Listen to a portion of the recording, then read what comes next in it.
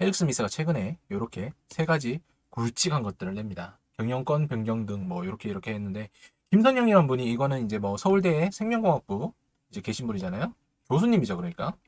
요 분이 그래도 끝까지 지분을 갖다가 놓지는 않으셨어요.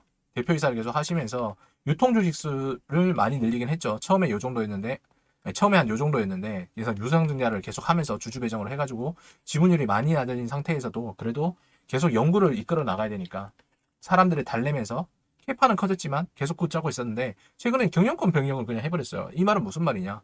아 연구 야, 이 나가린 것 같다라는 걸 갖다 반증을 하는 거죠. 그래서 제가 바이오 맨날 하지 말라고 말씀을 드리는 건데 어쨌든 내용 한번 볼게요.